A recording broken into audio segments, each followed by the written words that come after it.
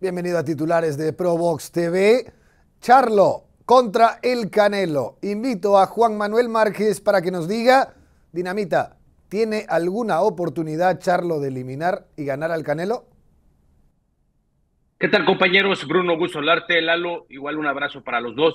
Creo que cualquier peleador tiene oportunidad y en este caso hay que darle el beneficio de la duda a Yermel Charlo Yermer Charlo tiene la oportunidad de, poderle ganar, sí, hay que ver la diferencia de peso, es importante, pero hay formas de poder trabajar ese tipo de cosas. Por ejemplo, Charlo puede trabajar la velocidad, manejar la distancia, manejar los pasos laterales, moverse a Canelo Álvarez, que por supuesto va a subir más pesado. Y creo que son puntos importantes para Yermer Charlo. Como te lo, se los comento, compañeros, trabajar la velocidad, ya lo ha dicho en entrevistas, él va a usar la velocidad, va a usar el boxeo, va a usar el contragolpe, que creo que es el estilo que le hace mucho daño al pelador mexicano.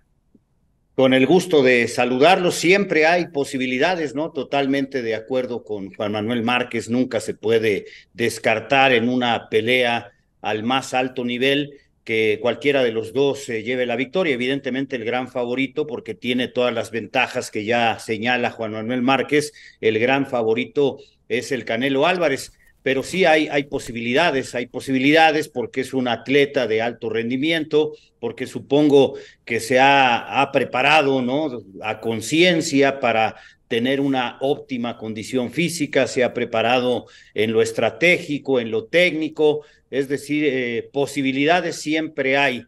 Y el otro punto es cuántas probabilidades, y ahí es donde entraría pues el tema de las probabilidades que se reducen mucho porque las ventajas las tiene prácticamente todas para esta pelea el mexicano Saúl El Canelo Álvarez, mi estimado Bruno. Ahorita, Juan Manuel, tú vas a ser Germel Charlo, Lalo, tú vas a ser el Canelo. Haz de cuenta que estás en el ring de Pro Box, Juan Manuel. Dime cómo le harías daño al Canelo representado por Lalo Camarena. Mira, creo que yo le daría, yo le haría daño al Canelo Álvarez eh, boxeándolo, usando Lalo no. Ah, bueno, a Lalo también, a Lalo también vamos a darle, vamos a darle a Lalo. Me lo estás poniendo enfrente como el Canelo Álvarez, yo te lo voy a, te lo voy a decir. Lo voy a boxear, lo voy a usar el jab, voy a estar al pendiente de sus contragolpes, porque el pelador mexicano Saúl Canelo Álvarez contragolpea muy bien. Voy a estar al pendiente de sus contragolpes y yo poderlo contragolpear también. Cuando él intente regresar con su contragolpe, yo lo intento también contragolpear.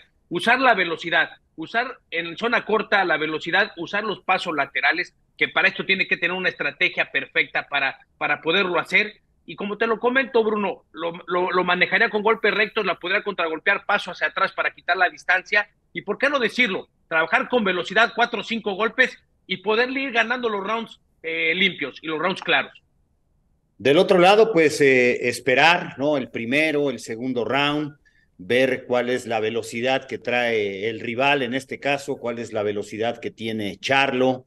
Canelo debe esperar, ¿no? Yo esperaría eh, para medir, ¿no? Fuerzas, ver qué tan rápido está.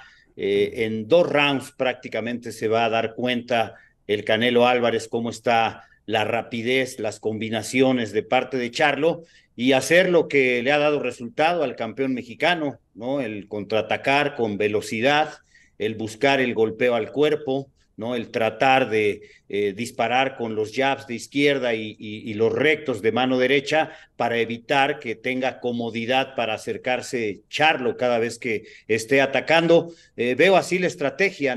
De parte de, del campeón mundial mexicano y permanentemente buscar el golpeo al cuerpo, el gancho al hígado, eso que le ha dado tantos, tantos buenos resultados al campeón mundial Saúl El Canelo Álvarez.